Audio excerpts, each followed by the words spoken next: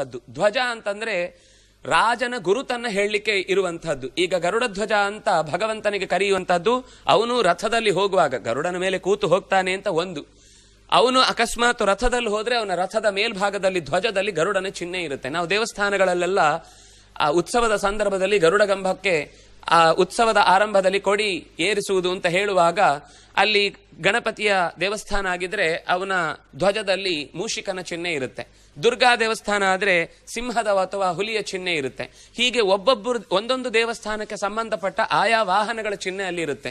ಅಥವಾ ರಾಜರಲ್ಲಿ ನಾವು ಅದನ್ನು ಗಮನಿಸಿದ್ರೆ ನಾಗಧ್ವಜನಾಗಿ, ಕಪಿಧ್ವಜನಾಗಿ, ಚಂದ್ರಧ್ವಜನಾಗಿ ಮಯೂರಧ್ವಜನಾಗಿ ಹೀಗೆ ಬೇರೆ ಬೇರೆ ಹೆಸರುಗಳನ್ನು ನಾವು ಕೇಳ್ತೇವೆ. ಅಂದ್ರೆ ದುರ್ಯೋಧನ ನಾಗಧ್ವಜ. ನಾಗಧ್ವಜ ಅಂದರೆ ಬಹಳ ಜನ ತಪ್ಪರ್ಥ ಮಾಡಿಕೊಂಡು ಹಾವು ಅಂತ ಅರ್ಥ ಮಾಡ್ಕೊಂಡಿದ್ರು. ವಸ್ತುತಃ ಹಸ್ತಿನಾವತಿಯ ಚಿಹ್ನೆ ಹಸ್ತಿ, ಆನೆ. ಆನೆಗೆ ನಾಗ ಅಂತ ಹೆಸರಿದೆ. ಹಾಗಾಗಿ ದುರ್ಯೋಧನನನ್ನ ನಾಗಧ್ವಜ ಅಂತ ಕರೆದ್ರು.